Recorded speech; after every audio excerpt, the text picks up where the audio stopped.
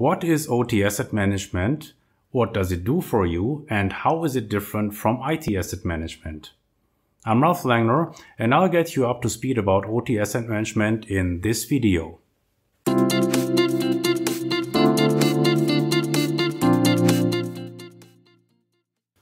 OT asset management is sometimes viewed as one of the more boring subjects in industrial automation. The idea of maintaining an inventory of your OT devices, worst case done manually and involving periodic walkdowns inspections, is anything but thrilling. But that's an antiquated idea of asset management. Today, all asset discovery is done automatically and the resulting data can be searched and analyzed easily. What asset management really does is to give you a ton of valuable data about your OT infrastructure that makes it much more easy to maintain, protect, and troubleshoot your systems. It eliminates guesswork and lengthy investigations about the actual configuration of OT assets from firmware versions to VLAN IDs, be it for the purpose of system maintenance or for cybersecurity. And that's where the real value of OT asset management comes in. Proper operation, maintainability, and cybersecurity posture of OT assets depend on multiple variables such as software and network configuration details. Making this information easily accessible and subject to automated processing is the purpose of an OT asset management system. Thereby, it makes engineers, maintenance specialists, and cybersecurity experts more efficient. For practical purposes, the best way to define an OT asset is a digital OT device, such as a PLC, RTU, sensor, actuator, network switch, operator panel, and so forth. An asset inventory, which is the centerpiece of asset management, stores all the data that is available for OT assets. This data includes hardware make and model, serial number, hardware configuration such as I.O. modules connected to a PLC's backplane, software configuration including firmware or operating system version, hardware and software product lifecycle status, installed applications, software components and security patches,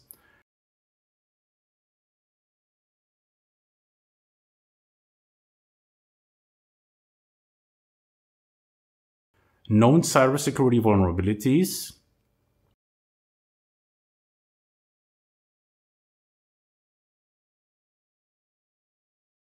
physical location of a particular OT asset, such as site, building, floor, room, or cabinet, a brief description of what the asset does, association with a particular OT system, such as a production line or distributed control system, user-defined tags, network connectivity, and several other properties.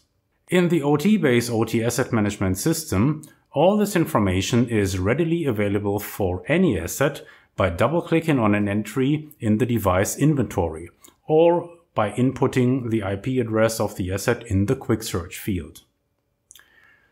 Asset data can also be accessed by other software applications via a REST API. Most OT asset data can be obtained automatically. This is accomplished by querying devices on the network using standard industrial protocols such as Ethernet IP, Modbus or Profinet. Each of these protocols comes with commands to query device identity and configuration, a fact that is widely used by software products from the large automation vendors. If you are familiar with passive scanning products, you will notice that their discovery process is different because it relies on hardware appliances and real-time network traffic analysis.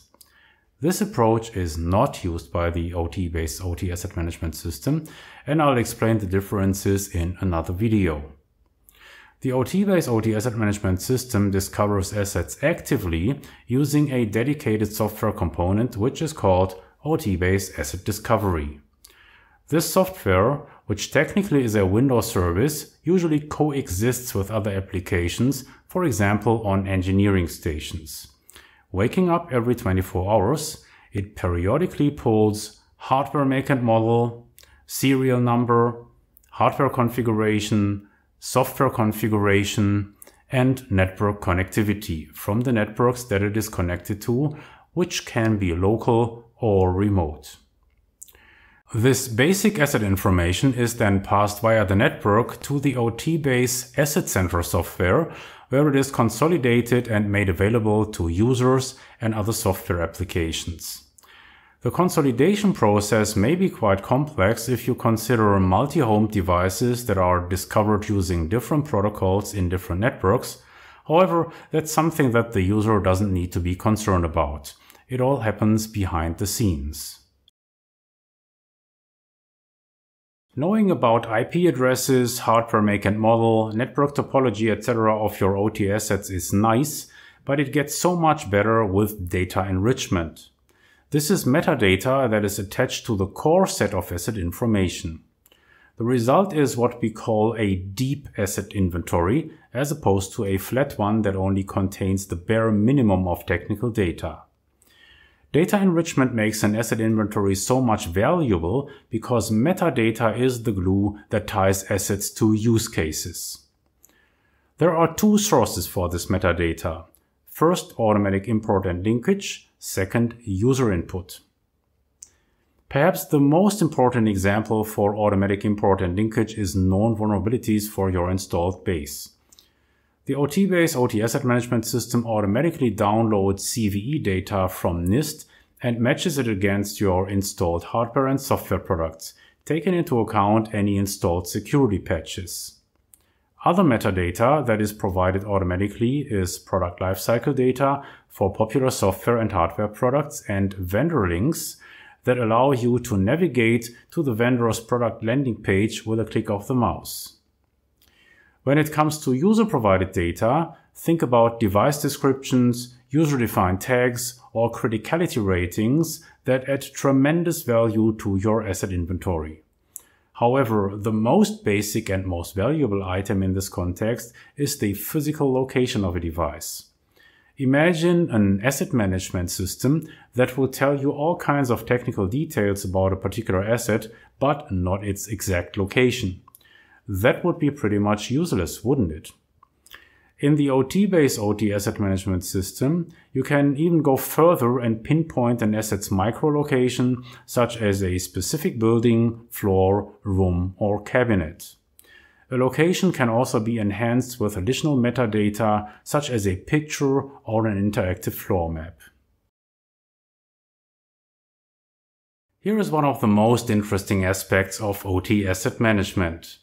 No matter if you are a control engineer, an OT security expert, or a maintenance specialist, a solid OT asset management system is almost guaranteed to make you more efficient. That is, at least if your OT infrastructure is of a decent size, with hundreds of networks and asset numbers in the five or six digits. For engineers and maintenance experts, the asset management system helps with change management, lifecycle management, and troubleshooting. Consider, for example, use cases in plant planning. When you are planning a new production line, you can have OT base produce a baseline specification for the equipment for this new line with just a few mouse clicks by cloning the OT configuration of an existing line and simply changing the details that are different. You can then export this baseline as an Excel file and provide it to the respective vendor or OEM. You can monitor progress by comparing the spec against actual installation. You can streamline the factory and site acceptance tests by having OT base inform you about any discrepancies between spec and real life. When you think about lifecycle management, wouldn't it be great if you could see right away which hardware and software products that you are using for critical functions will become obsolete within the next 12 months or so? While you may be able to collect this information from vendors' websites, the OTbase OT asset management system includes this data for many vendors and exposes it automatically for your installed base. For system maintenance experts, the OTbase OT asset management system provides answers to questions like these within seconds. When was the firmware version changed for that PLC, RTU or network switch that causes problems since last week? How is the digital configuration of this malfunctioning machine different from the similar one that runs flawlessly? Or are there any known problems with other devices of the same type or with other installations of the software or firmware version? Cybersecurity has become such an important use case in its own right that I will discuss it in a little bit more depth. When viewed in the context of the NIST cybersecurity framework, the role and value of asset management for OT security is predominantly about prevention. An OT asset management system helps you to identify insecure endpoints, for example, those with poor patch status and lots of critical vulnerabilities. It also allows you to identify automation equipment exposed in the enterprise network or on the internet. And finally, it helps you to rank systems with known vulnerabilities by their risk score, which can be derived from the criticality of an asset and its network exposure. The proactive nature of OT asset management is highlighted by the use of configuration baselines and compliance metrics.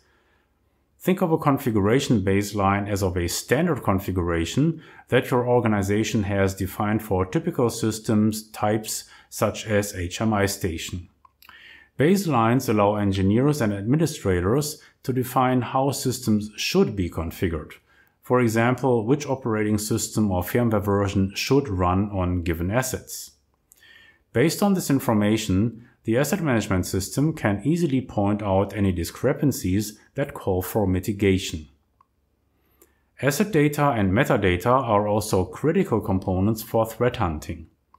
Let's assume that your SIEM has detected some funny network traffic going to IP address XXXX. This information doesn't give you much to work with without any additional data on what the device is, such as a PLC or engineering station, and maybe additional items such as criticality, location, and known vulnerabilities. This is usually called contextualization or data enrichment of observables.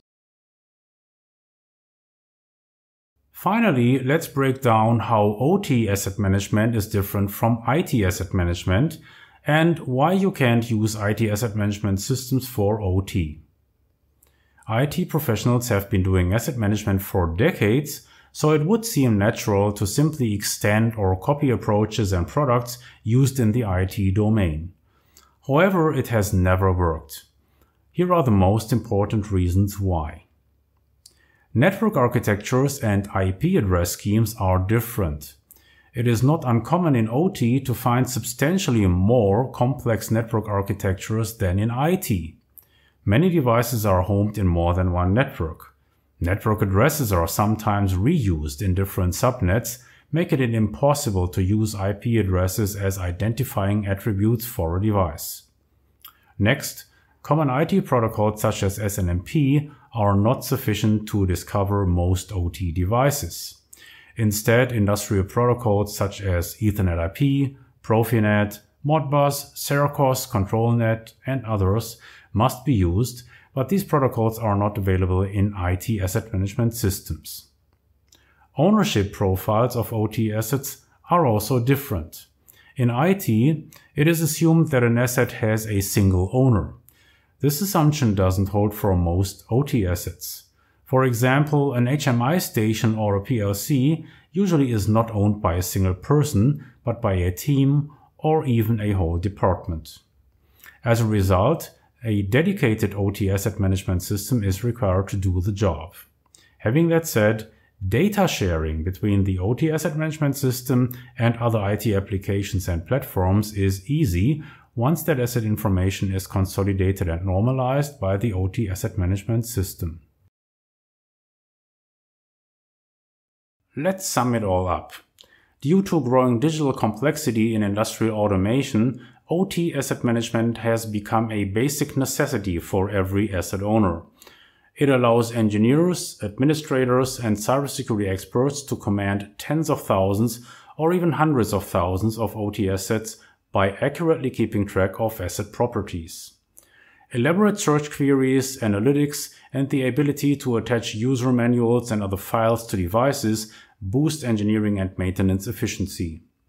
The ability to share asset details with third parties such as vendors, OEMs, and contractors is an added benefit. A major push for OT asset management comes from cybersecurity, because you obviously can't pro protect what you don't even know exists in the first place.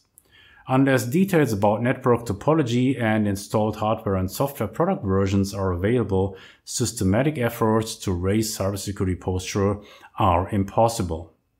When it comes to threat hunting, the asset management system provides context for IP and MAC addresses, which is sometimes the only information a SIEM would otherwise have. If you want to learn more about how your organization can benefit from OT asset management, get in touch with, with us using the contact form on our website.